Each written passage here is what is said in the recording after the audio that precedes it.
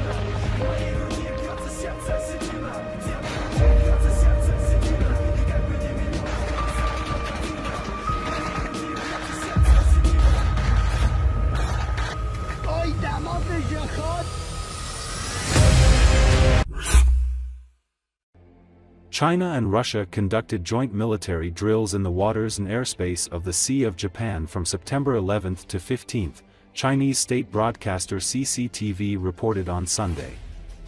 It said the drills, which have been named Northern Slash Interaction 2024, aim to deepen strategic cooperation between the two sides and strengthen their ability to respond to security threats.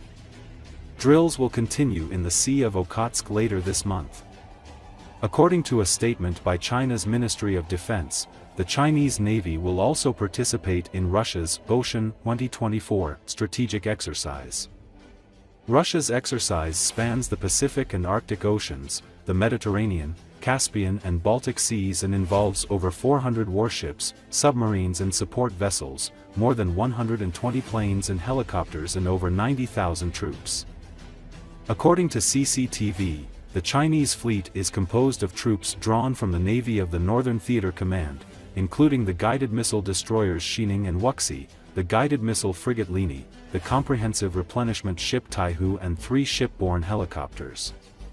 Through joint exercises, Russia has sought Chinese help in achieving its long-cherished aim of becoming a Pacific power, while Moscow has backed China's territorial claims in the South China Sea and elsewhere.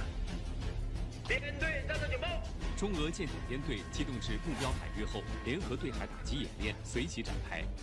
海上联合作战群根据空中兵力推算，由多架靶机模拟的导弹向编队高速袭来。各舰官兵综合运用的目指信息，迅速锁定南方舰艇，实施模拟导弹攻击，雷达、光电等设备持续报告空中目标信息。无锡舰“完美号”等舰艇依次开火，精准命中目标。强度高、节奏快是这次演习的突出特点，这对我们的连续作战能力提出了稍纵即逝的射击窗口。我们首舰开火即命中目标，充分展现了我们的能力素质和训练水平。夜幕降临，战斗警报再次拉响。在中方指挥下，海上联合编队准备进行主炮对海射击演练。西宁舰占据射击阵位后，主炮部位官兵迅速反应，根据指令果断实施打击，成功摧毁靶点。在夜间进行了主炮对海射击、锚地防御等科目演练，有效应对暗夜条件下各种突发敌情。实